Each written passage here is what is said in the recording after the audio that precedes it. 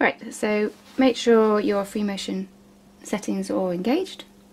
I like to, my machine has it so that you can leave the needle down when you take your foot off, so I find that easy and then things don't go astray so much. So if you have that setting, you can get that engaged. Right, I'll try and do this without getting my fingers in the way so much. So I've got a couple of flowers here that we're going to do. So we're just going to stitch around them in the dark brown cotton. Right, I have my picture to one side, so I find that's easiest. So stitch around, stitch around the edge, and then find your scissors. Should be there we go, and just get that first end snipped down off, and then you don't have to keep sewing over it every two seconds. Okay. So I just stitch close to the edge, make sure I catch everything down. So I'm just pausing to make sure my fingers aren't in the way. Okay, now you can see here, find a scissors, I missed that edge here, so I didn't actually sew it down at all. I'd sewed a very neat line just next to it, but we're not going to worry about it. I'm just going to make sure I definitely get it next time. It is the problem of trying to stitch very close to the edge. You're not always going to get it. So here I'm playing safe and making sure I definitely get it. So I'll go back down to here. Right, so on my pattern I will be doing this, stitching to the next one with green thread for the plant. But So we're just going to hop over to the next flower. So these are a bit fiddly really. So there's two ones here and I've left them stuck together because the fewer raw edges we can leave the better because otherwise it's just extra to sew down and more to fray. Now on bits like this you've got seams for the patchwork underneath so it does sometimes, sometimes kind of bump you a little bit so you don't go quite the way you meant to go. So just try not to worry about it. Where there's a petal here I'm sewing it in as I go so that I don't have to go back again. Around. These, these flowers are very small, it really doesn't matter too much what they look like here. I'm not I'm not going to worry whether they're all exactly how they should be.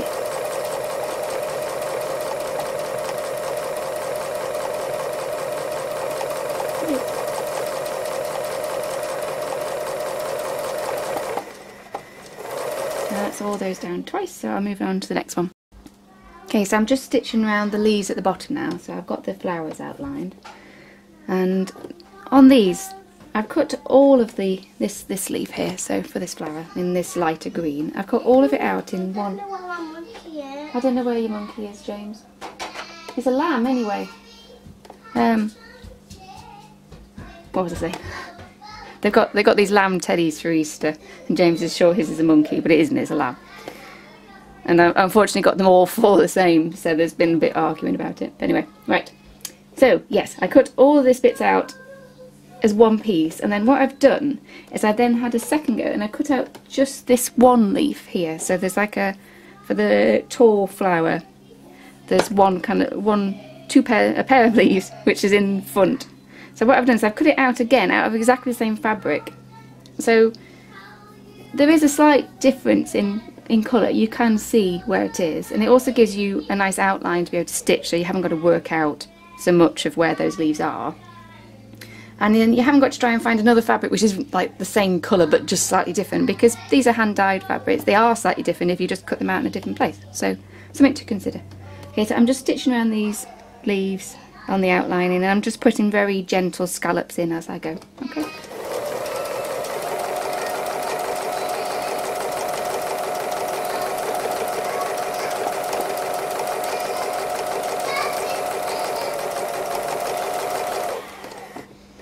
Now on here I've got this is quite a big panel and you can I think I don't know if I can get it in the shot.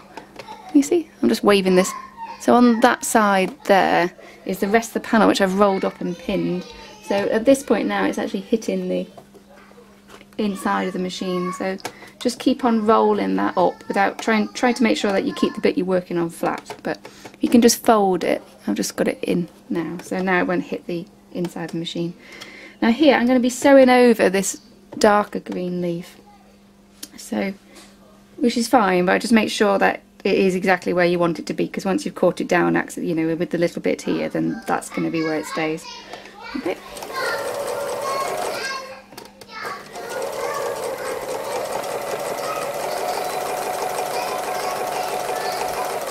Yeah, so something to watch out here with this this darker green leaf is that i am doing the right hand side of the panel so we do need to make sure that you keep a quarter of an inch seam allowance free. Otherwise when we sew the panel together you'll chop off the edge of the leaf.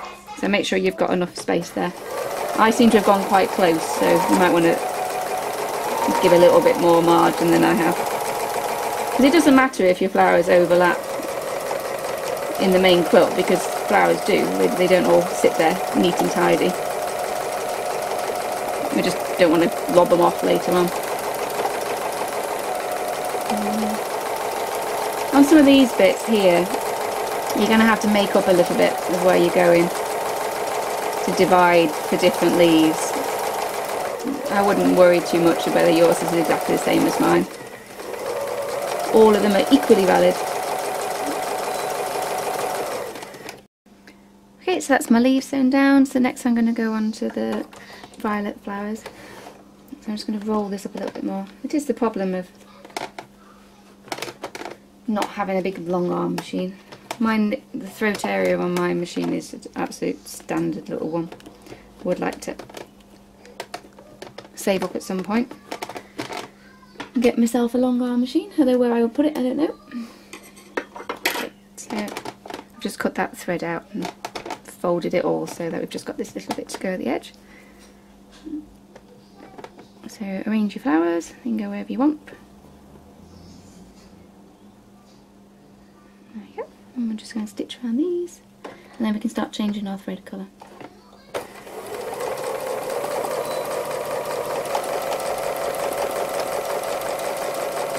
Something you should watch out when you're doing stuff where you've got quite a thick layers and things like this, just keep on making sure that you're free motion foot or darning foot is still attached because I find sometimes um, if you get something on one side or a bit of a uneven surface it works it loose or knocks it off which is you can I don't know if you can see on here but my my free motion foot is very scratched from where I've it knocks off and then I hit it with a needle which tends to break my needle and scratch the foot. And at some point I should really buy myself a spare one because I'm sure one day it's going to go and snap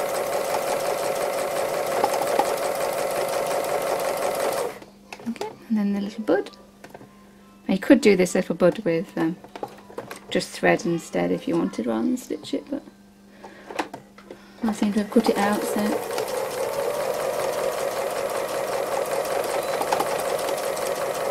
just do all this and we can put in that kind of petal swirl there as well.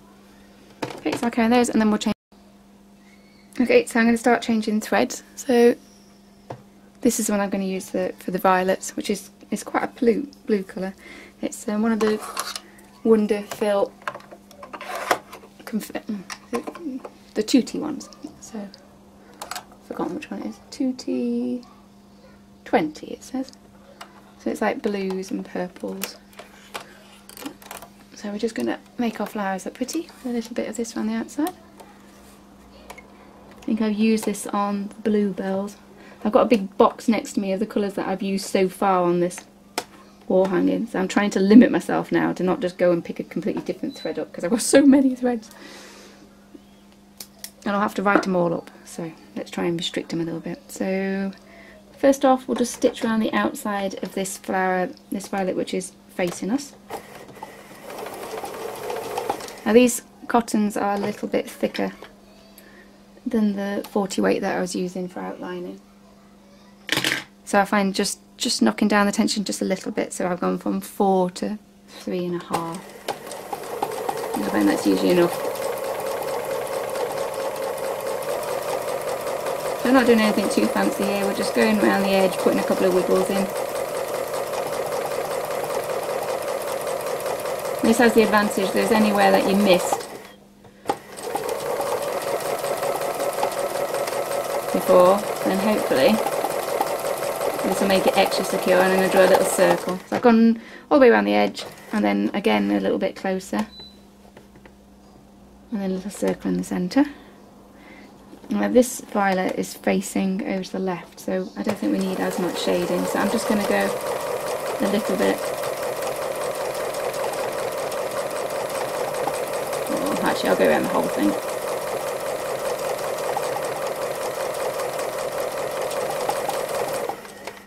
And then a little bit on the bud.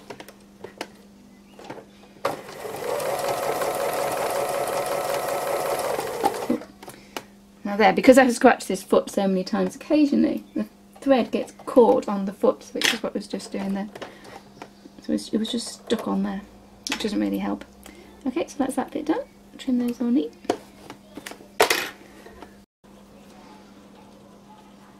Okay, so I threaded up this time with, oh, I forgot what I threaded it up with. Um, it was a designer plain. so it's DS 853 so I would have used a variegated one but I couldn't find one in the colour I liked so.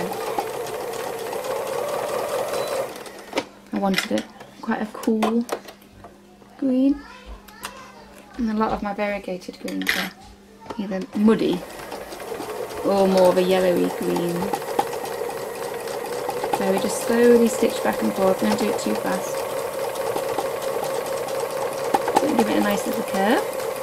And we'll go on to the bud here, again, just curve it round. Do you know, I was going to switch this off then and not show and, and delete that little bit, but you can just see. But I'm, I'm going to I'm going to share I'm going to share my failure here. So that was my needle snap in there. So so I was just stitching over that seam, and it must be a little bit thick there, and I've snapped my needle. See, there's a little, little snap needle. So it happens. You just have to go and get yourself another one. That one in. So yeah, I think it just it was just going over that seam and just snapped it there. So I'm just Okay, so here we go again. It turned out it wasn't thread, it was that my um, the top thread around the it got wrapped around. So it just got really tight and snapped that way. So make sure make sure everything's okay. Right. Okay, let's have another go.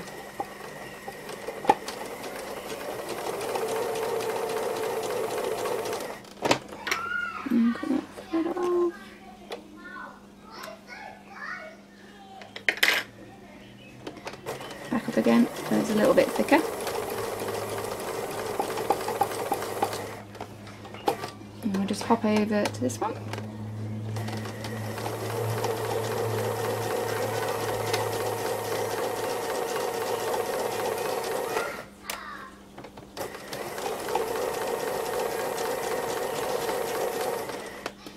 Okay, so now I need to go around these leaves. I don't think I want to do anything too bright, so I think I'm just going to keep the, the, cotton I've got on. So we're just going to stitch around, and they have kind of scallopy stitches, so we're just going to go around each leaf.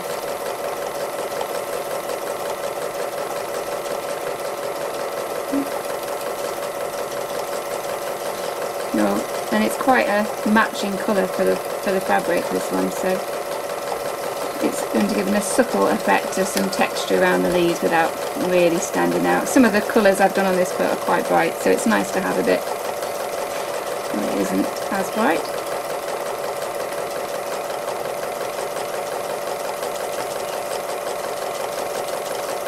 I'm not particularly following the pattern here, I'm just I'm just making it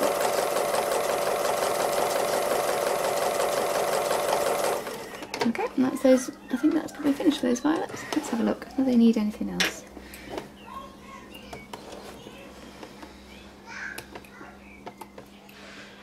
Finish off all the neat ends. I don't worry about the back, but try and make the front look neat.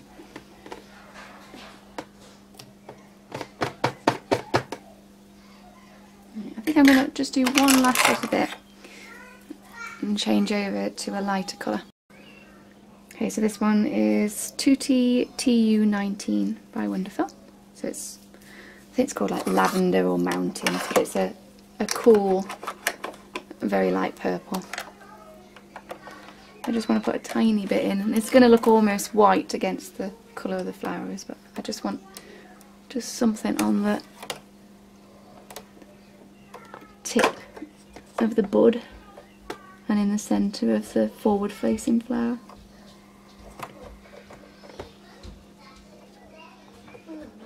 Yeah? Has it got um, the lamb's name on here?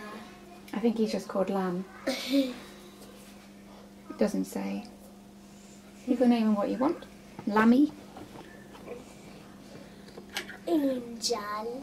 Angel the Lamb. Well, that's a very sweet name. Okay, so we're just going to go in the centre and just do a little circle. Well, is it tricky doing circles? Well, this one is very small, so it's okay. Just cut away that edge there.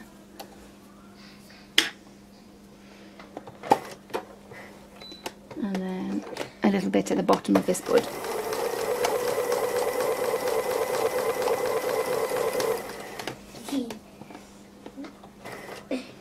Angel wants to go in these. In these. He's big. This is now Angel the lamb wants to go in Susie the cat's bed. Poor Susie. Okay, so I think that's probably then finished.